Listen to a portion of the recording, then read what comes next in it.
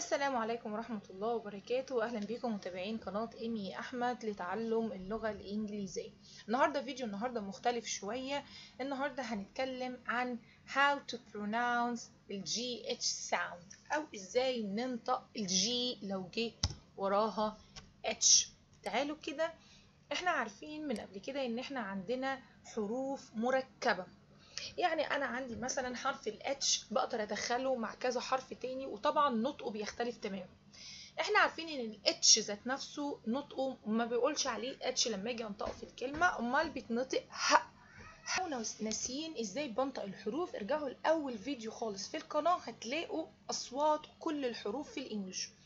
إحنا النهارده بنركز على حرف ال H وازاي ان أنا بدخله واخليه حرف مركب. حرف مركب يعني حرفين مع بعض بيتنطقوا صوت واحد.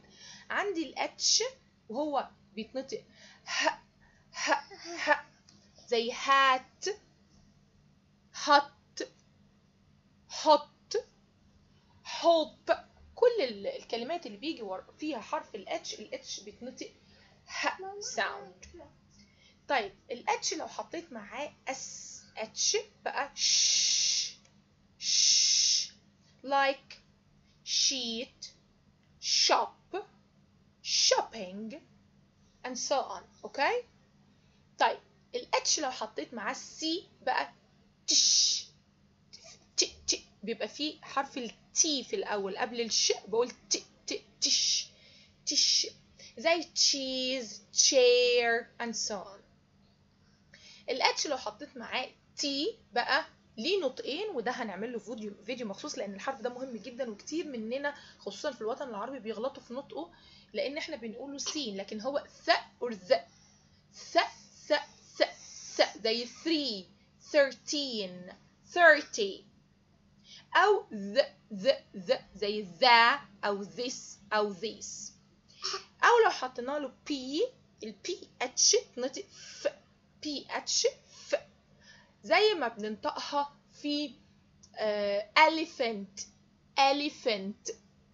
ال WH وهنا ال H بتبقى بالنسبة لي silent وبقولها و زي علامات الاستفهام what where when and so on. طيب النهاردة إحنا بنتكلم عن إيه؟ بنتكلم عن ال GH وده موضوعنا النهاردة. ال GH بتتنطق ليها uh, نطق مختلف على حسب موقعها في الجملة. يعني إيه؟ تعالوا نشوف. دي من ضمن الحروف المركبة اللي هنتكلم فيها بالتفصيل المرة اللي جاية. كل حرف مركب هنعمل له فيديو. إحنا النهاردة مهتمين بالجي اتش أوكي؟ الفيديو اللي جاي إن شاء الله هيبقى عن التي اتش طب تعالوا نشوف الجي اتش بتتنطق إزاي. أنا بقول لكم إن ال G H نطقها بيختلف على حسب موقعها في الجملة. آه sorry على حسب موقعها في الكلمة. يعني لو هي at the beginning of a word at the beginning of a word يعني في بداية الكلمة. طيب في بداية الكلمة ال G H بتنطق ج ج زي جي ghost جو جيزي هنا ال G H اتنطقت ج ج. كأن ال H مش موجودة غير إن هي عشان تفصل ال G بالحرف اللي بعدها فتتنطق ج ج. جي ghost. جو جايز G H ج ج ج زي ghost شبح. طيب تعالوا نشوف أمثلة تانية لل G H in the middle of the word. إحنا اتفقنا لو هي at the beginning of a word أو في بداية الكلمة بننطق ج ج لو in the middle of the word أو في منتصف الكلمة يا ترى بتتنطق إيه؟ ليها نطقين G H silent يعني إيه silent يعني أنا بعتبر إن ال G H دي مش موجودة. يبقى أنا لو G H in the middle of the word أو في نص منتصف الكلمة بعتبرها إن هي مش موجودة هي ال silent زي إيه؟ زي night. شايفين؟ ادي الاي جي اتش. الاي جي اتش على طول اي بنطق ال I وبالنسبة لي ال G H silent مش موجودة. ال G H موجودة بس عشان تفصل بين ال I والحرف اللي بعديها اللي هو غالبا بيبقى T وبنطق ال I اي مش اي اي اي night right fight high flight light side يبقى أنا هنحفظها كده كقاعدة إن لو G H جت في منتصف الكلمة وقبلها ال I خصوصا لو قبلها ال I بتتنطق silent يعني إيه بتتنطق silent يعني ما بنطقهاش أصلا كأنها مش موجودة. يبقى ال G H in the middle of the word بتبقى silent زي night معنى الليلة right معنى حق rights يعني حقوق fight يعني يتخانق أو يحارب. High معناها عالي أو مرتفع برضو قبلها I. Flight flight يعني رحلة طيران جاية من verb fly يطير. Light light ضوء أو معنى ينير أو يشعل الضوء sight sight بمعنى مشهد أو النظر ذات نفسه. ال sight ال eyesight فاضل لنا آخر حاجة خالص at the end of the word. At the end of the word أو في نهاية الكلمة ال GH ليها نطقين والنطق التاني حالة شاذة شوية ومش كتير قوي في اللغة الإنجليزية أو مش بتواجهنا كتير.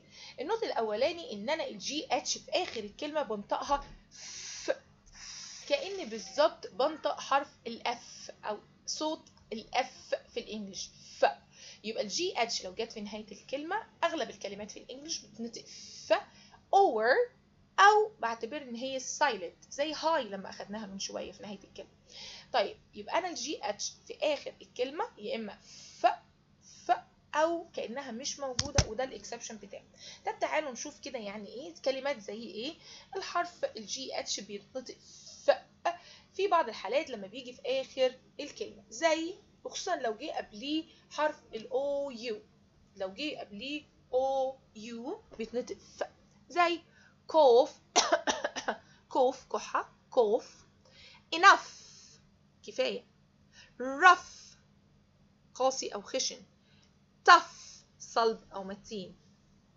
okay طيب يبقى أنا لما بلاقي يبقى معنى كده إن إحنا توصلنا في النهاية إن أنا لما بلاقي GH في آخر الكلمة وقبلها OU ف